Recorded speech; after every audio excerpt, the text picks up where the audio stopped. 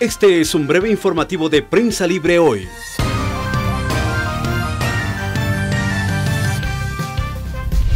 Es un gusto darle la bienvenida en este primer avance informativo de este viernes 9 de septiembre de 2016.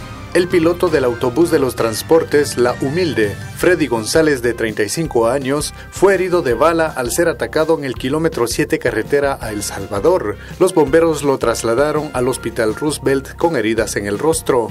El bus se dirigía de la terminal hacia Jocotillo, vía Canales, cuando fue atacado. Tiene seis perforaciones de bala del lado del piloto. La Policía Nacional Civil no descarta la posibilidad de que los atacantes se dedican a la extorsión.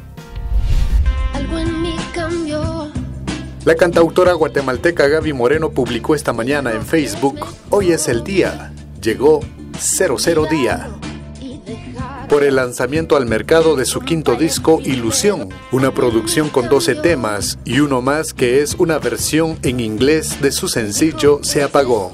En Twitter la cantautora escribió, ya me compré mi disco, qué felicidad poder compartirlo con todos ustedes.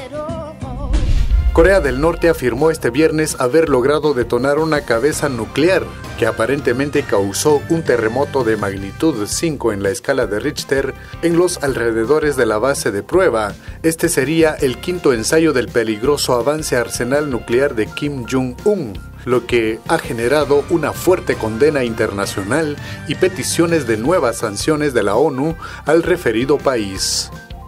En la edición impresa usted puede leer 10 sesiones y no pasa ley de migración. Alerta por Alba Lorenzana, la nueva ilusión de Gaby, búsqueda infructuosa. Hasta acá con la información, los dejo con esta caricatura titulada Afiches.